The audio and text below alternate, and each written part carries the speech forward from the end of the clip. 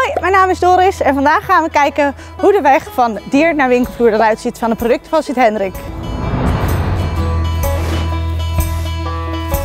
Hey Pieter, Hey Doris! wat leuk om hier te zijn. Ja, wederzijds. Ja. Nou, ik heb meteen een prangende vraag voor je. Wat houdt biologisch boeren nou eigenlijk in? Biologisch boeren, dat houdt in dat je daar eh, heel veel arbeidsvitamine van krijgt. En eh, ja, dat kan ik jou hier helemaal eh, laten zien. Hier links van me, daar hebben we dus het kuilgras zitten wat we in de winter voeren aan de koeien. In de winter groeit er geen gras buiten en dat willen ze toch graag eten. Dus dan moeten we in de zomer zorgen dat we voorraad hebben voor de winterperiode. Wat eten ze nu dan? Nu eten ze vers gras in de wei. En ja, dan gaan we even kijken hoe het eruit ziet. Ik zie verschillende soorten. Wat heb je allemaal in je hand? Ja, dat is ook een van de eigenschappen van een biologische bedrijfsvoering. Eh, wij hebben niet alleen gras eh, in de wei staan, maar we hebben daarnaast ook eh, witte klaver. We hebben rode klaver, die is ietsjes groffer, dat is deze. En daarnaast hebben we nog wat kruiden. De sigorij hebben we ingezaaid deze keer en smalle weegbree hebben we ingezaaid. Waardoor ze dus een mooi saladebuffetje hebben en waar ze dus de mineraal eh, vanuit de grond hier zo opgetrokken door die eh, verschillende plantensoorten ook in de koe uitkomt. En dan kun je dus proeven aan de melk en dan kun je proeven aan het vlees. Wat ze in de winter ook eh, bij krijgen is ons eigen geteelde krachtvoer. En dat is dit. Ja, dat is dit. Dit is eh, de gerstkorrel die geoogst wordt in de zomer als die rijp is. Ja. Dus dan wordt de gerst gescheiden van de stengel. En die korrel die wordt dan gemalen op het land. Dan wordt die helemaal kapot gemaakt, zoals die er nu uitziet. En dat doen we omdat anders die koeien niks met die graankorrel kunnen. Als die graankorrel heel is, dan poepen ze hem zo weer uit. Ja. En als die kapot gemaakt is, dan kunnen ze hem heel goed verteren. En dan krijgen ze de energie eruut. En dan krijgen ze de energie eruit en dan maken ze er zelf energie van. En dan hebben ze dus een hele gezonde basisrantsoen, noemen we dat, zeg maar, om dus eh, de eerste plaats melk te produceren, maar ook in haar eigen levensonderhoud te voorzien. Koeienvlaai mag natuurlijk niet ontbreken in het gras. Nee, die is heel hard nodig eh, voor de grasgroei, eh, Doris. Want ja, die eh, koeienvlaai, daar zitten dus weer de restproducten in die uit de koe gekomen zijn. En die weer als voeding dienen voor de bacteriën en de wormpjes in de grond. Dus dat is helemaal nodig om die gezonde bodem in ere te houden. Hoe oud worden die beestjes nou? Eh, ja, dat varieert natuurlijk vanaf de geboorte. Vanmorgen is er weer een kalfje geboren. Ja, dat is dus nu de jongste. Ja. En de oudste koe die is in elk geval 13,5 jaar oud bij ons op het bedrijf. En gemiddeld zitten we zo'n beetje rond die 7 jaar. En eh, ja, het is ook een heel natuurlijk gegeven dat er kalfjes geboren worden en dat er koeien weggaan. En eh, ja, dat, daar hoort bij dat er dus op een gegeven moment ook iets zinvols gedaan wordt met die koeien.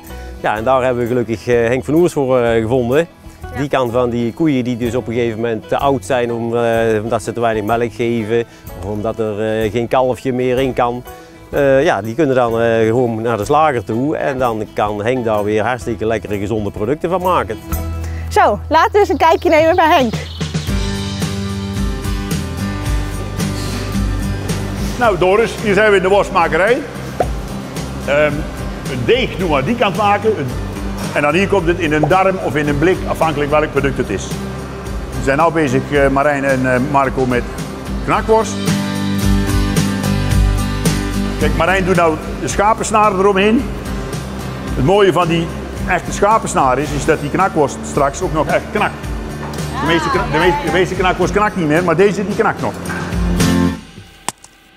Op het moment dat die karren vol zijn, dan brengen ze met lucht gedroogd in de, in de kast. En vervolgens middels wrijvingsrook, 2,5, 3 uur, worden de worsten gerookt. Kijk, hier, Oh, zien, ja. we, hier zien we een blok hout. Ja. Ik kan hem wel even uitpakken. En die blok hout wordt op een ronddraaiend Oh, ja. wiel gedrukt.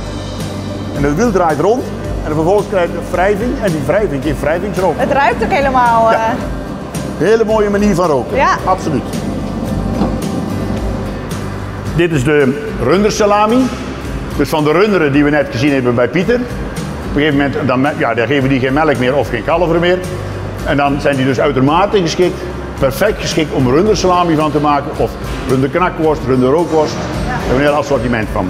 Je ziet een hele lichte rook. Wij doen dat bewust heel licht roken. Want dan krijgt die worst de kans om die rook langzaam op te nemen. Als je die te dicht rookt en te warm, dan slaat die dicht en dan kan die straks niet meer verder doorrijpen en zijn vocht afgeven. Dat zien we dan in de volgende ruimte weer.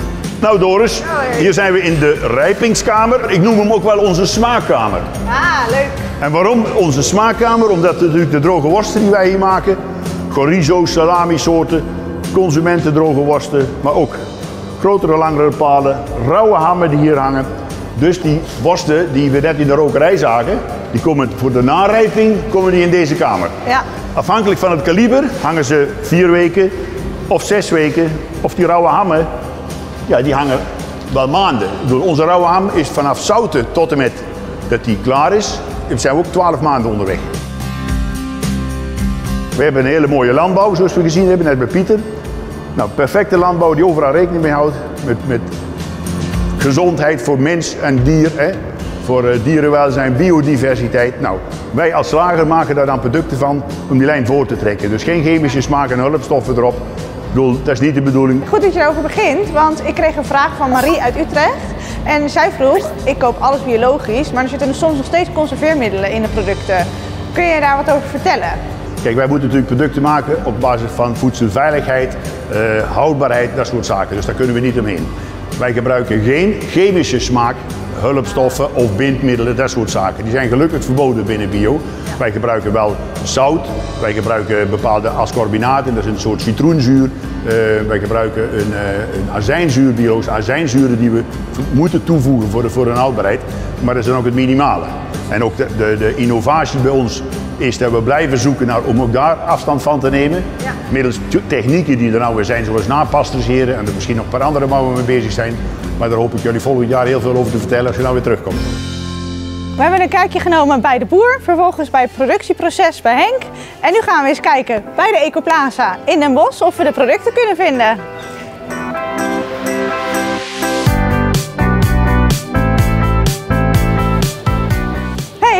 Henk, goed je weer te zien. Ja, die Doris. je bent al druk bezig, zie ik. Ja, knakworsten ben ik aan het warm maken. Voordat we erin duiken, wil ik je nog één vraag stellen van de consumenten. Hoe kan het nou dat jij de eerste biologische slager van Nederland bent geworden? De eerste biologische slager van Nederland, 40 jaar geleden alweer. Omdat ik toen de keuze gemaakt heb voor biologische landbouw. Omdat mijn mening sterk is dat dat een landbouw is waar de wereld mee vooruit kan. En waarom? Omdat er geregeld is, dierenwelzijn geregeld, biodiversiteit, goede grond, uh, gezond voor mens en dier. Geen bestrijdingsmiddelen, chemische bestrijdingsmiddelen. denk ik, nou, daar wil ik mijn vlees vandaan halen. En ik als slager, wij als slagersbedrijf, trekken die lijn eigenlijk verder. Dat we zeggen, nou, we hebben de grondstoffen uit de goede landbouw. We voegen geen chemische smaak en hulpstoffen toe. Mag ook niet binnen bio, gelukkig. Bij whisky weten mensen en met port en met kaas weet iedereen van het moet tijd krijgen om smaak te vormen. En met vleeswaren is het compleet weg. Nou, dat brengen wij terug. Bijzonder smaakvolle producten. Ja, en het is ook wel gewoon fijn uh, dat het een product is wat uh, ja, van dichtbij komt. Dus uh, het is een product uit de omgeving, uiteraard biologisch, want ja, wij zijn een biologische supermarkt en het is gewoon puur natuur. Ik ben heel benieuwd, ik wil wel graag Nou, proeven. ik heb heerlijke knakworst, dus ik zou zeggen probeer eens uit. ja, ik dit? Of, of dat die knakworst nog knakt, alsjeblieft. Zo doen. Hij knakt echt? Ja. Ja, maar echt.